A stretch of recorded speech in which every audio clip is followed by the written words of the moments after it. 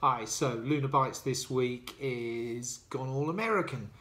Having been over to New York last week, interesting to see what's happening over there. An awful lot of the world is getting smaller, so it's all the corporate brands you'd expect. One thing I did notice, small point of detail maybe, is the use of the good old star. So, you know, Macy's, largest department store in the world, uh, classic there with the red star, you know, and so diners coming through there with their stars.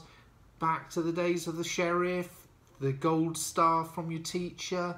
It is a classic symbol of success.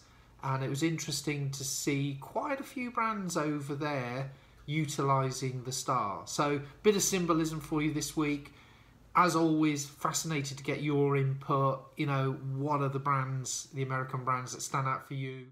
Brilliant. So let's hear your views. Luna Bites back soon. Thank you.